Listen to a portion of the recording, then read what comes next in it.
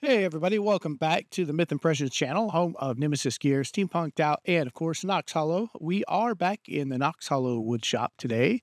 And today, uh, it looks like we are going to be turning some uh, dark chocolate. Yeah, or baker's chocolate or okay, it's not it's not chocolate. I wish it was chocolate. Uh, maybe I don't wish it was chocolate. If it was chocolate, I would probably eat all of my wands in one sitting. But anyway, so this is called Katalox. And this wood is um, it's a little bit it's t- it's a little it's a tough one. It is it's bittersweet. It's definitely bittersweet like chocolate. Okay, um, this wood is often used as a substitute for ebony. It is a little bit more more available, uh, easier to find um, than the actual Gaboon ebony. It's not quite as black. It's it's more of a dark, and it, it, looks a little bit more brown in this. Once you get the finishing stuff on it, it's closer to black. It's still a really dark chocolate brown. Um, the downside is it's almost as expensive as ebony. So yeah, you can find it a little bit easier um, than you know than good you know pieces of Gaboon ebony, but it's almost as expensive. And let me tell you something: this stuff is hard. This is one of one of the hardest woods I've worked with. Um, it's extremely dense. Um, you, you, can tell when you pick up a piece of it, it just it's very heavy. Um, so yeah, it was. It's definitely not high on my list of woods that are fun to work with. Um, it is very pretty. Uh, it's got it's got its good side. So there's some definitely sweet sides. Um, anyways, so what what we're going to do here, I actually start off this video uh, right at the very beginning. So we're getting the whole process of the wand making here. Uh, if you don't care for that, um, you can always skip to about oh five minutes or so. I think is where I actually start doing the handle. But basically, what I'm doing at this point um, is I'm I'm getting the wand basically from the the square you know rectangular piece. I'm turning that down to uh, a round shape, and then I'm turning the um, the blade of the wand down to about the size of a sharpie, uh, which is a little less than a half an inch, um, three eighths of an inch ish or so, and that's so that I can put this up inside the chuck jaws, and that way I don't have as much of the wand that's unsupported. Once it starts getting thin and it's unsupported, we start running into problems. And let me tell you something: this Katalox is one of the more difficult woods to turn, and it's definitely one of the reasons why I feed these up inside, um, up up inside the chuck jaws because this thing just chatters like mad when you're trying to turn it. It's very, uh, it's very hard and dense, and even a, I, I just sharpened my tools, and I'm still getting a lot of chatter on this. So, um, so yeah, so basically what I'm doing, I'm getting it, I'm getting it turned down to about the size of a Sharpie. I'm going to feed mo- uh, as much of that into the chuck as I can. And uh, that way, um, th- this section here, I'm just working the next section. We'll get it about the same. Then we're going to feed it uh, up in there as well. And now that I've got as much of the um, wand up inside the chuck jaws as I can get to fit, I'll just finish um, getting getting this rounded shape done, and then we'll um, mark out the the general area where the handle is going to be there. And once I've got that generally marked out, we'll start doing the shaping. Uh, again, if you haven't seen my past videos, uh, I will explain really quick. The um, handles on my wands are all approximately four inches, about a half an inch for the pommel, uh, about two and a half uh, inches for the um, the grip, and then about an inch for that transitional area, uh, which on a sword would be a guard, um, I use it as a transitional area um, between the handle and the blade. So it's where I like to put the decorative elements and stuff. Um, you know, again, I you know I have a lot of experience with stage combat, so uh, I like to talk about the wands in the same terms as I would use for a sword and stuff. So, anyways, we're just gonna we're gonna kind of go through here while I'm shaping up the chocolate. I, I mean the Katalox. Uh, we're gonna do some shaping on this Katalox wand here. And in addition to edit, editing out uh, just for time, uh, a lot of this is editing out a lot of the um, the uh, difficulties that I had uh, in in turning this wand. Um, you know, due to the density and the and the chatter of this, I've switched to several different tools trying to to uh, get it to do what I wanted here. Um, and overall, it, it it was successful. It's just uh, it, there was um, there was a lot of cleanup that had to be done um, afterwards as well because the with that chatter you can you can kind of see the the bounce marks uh, in the wand and stuff. So a lot of that has to be sanded out.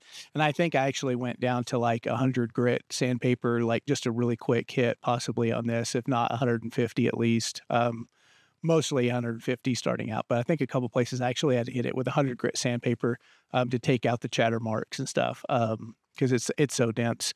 Um, but yeah, so we'll, um, you know, combination of, of tools and then, you know, sandpaper for some of the fine shaping and stuff.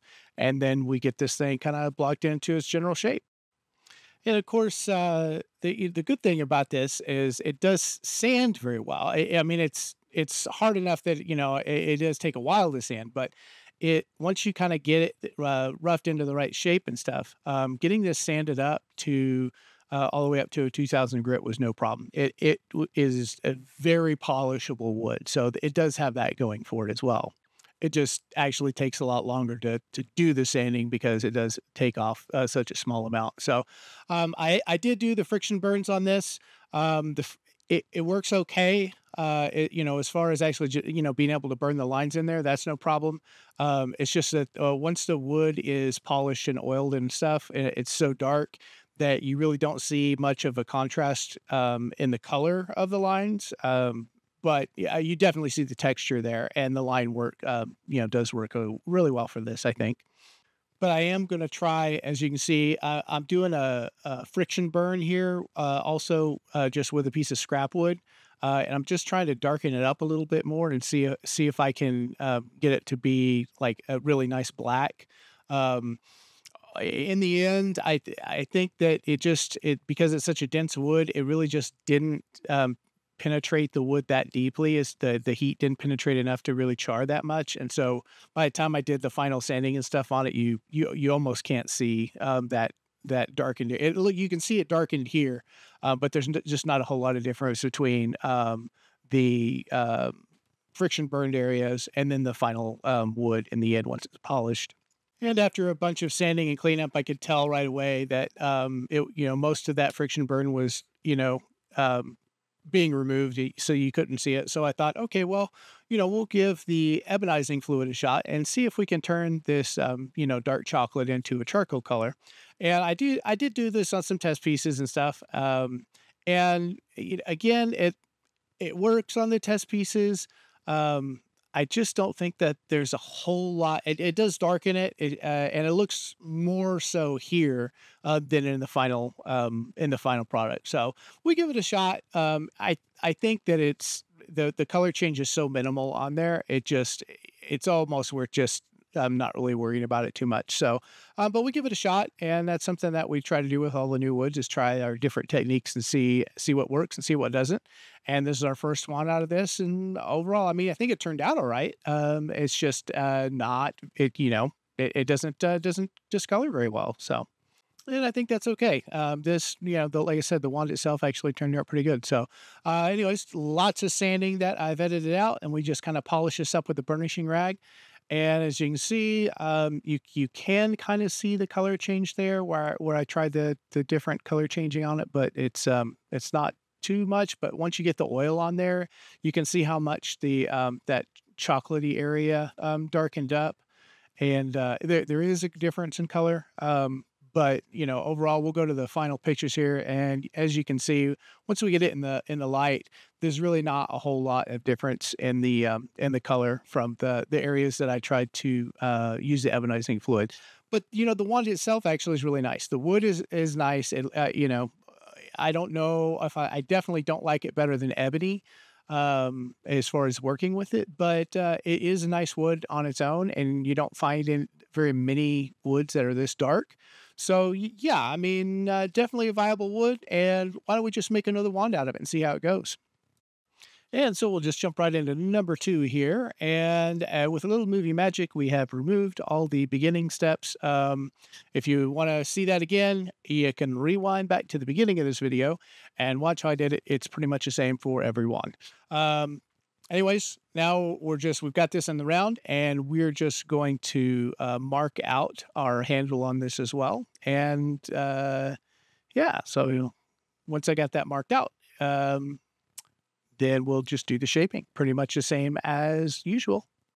And while we're watching the shaping here, I do want to remind you that if you would slide back right down there on the bottom right, uh, right below the video, and hit that thumbs up button, that really helps me out a lot, helps out the channel, uh, and it's very much appreciated.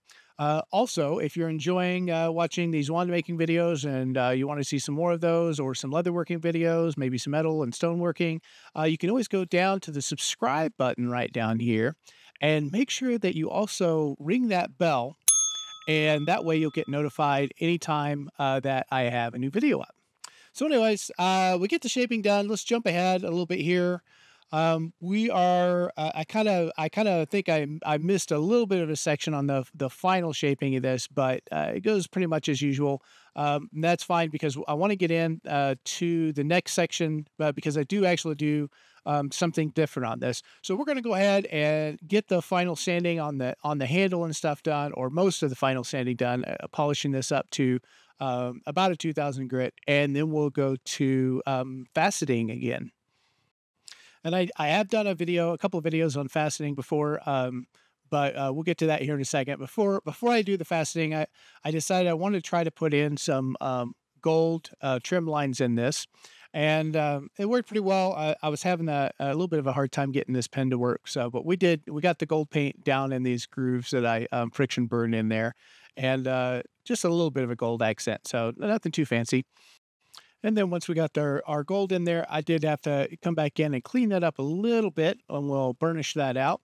And then here's a look of uh, of what the handle looks like before we go to uh, putting our facets on there.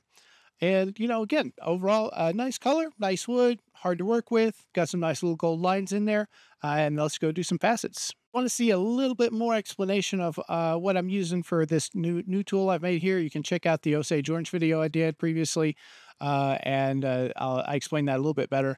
But basically, uh, all these are is just a, a, friction fit deal that I designed on the 3D printer with different size tubes. It lets me slide up onto the wand there, and that way I can um, have it an evenly distributed um, angle there. I, you still have to eye it up uh, on the sander, which is what I'm doing here. And we'll do a little bit on the, get the, get it roughed in on the disc sander. Do this on the pommel as well. Uh, and then we move over to the belt sander. And all I'm doing at this point is just kind of making sure that I've got a good flat surface there. Uh, and then I take it to the sanding blocks and I'll finish making sure that those are um, the, all the facets are nice and even. And so here we go with our final uh, oil finish on that. And again, uh, the gold turned out pretty decent on there. I really like doing the faceting on this. Uh, it just gives it a little bit of a different look. And I did it on the pommel.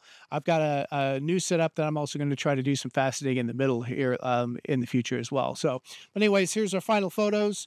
And as you can see, again, uh, it's a nice wood. It's it's not the most easy, uh, most fun to work with, um, but it, it does have a nice look to it. And so I hope you enjoyed those.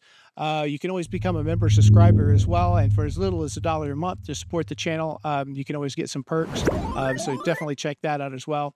Uh, but anyways, I hope you enjoyed this video. I've got another special edition Katalox wand coming up where I do a lot more fancy stuff to it. Uh, but anyways, uh, we'll get to that in the future. And until then, we will catch you on the next video. Thanks for watching.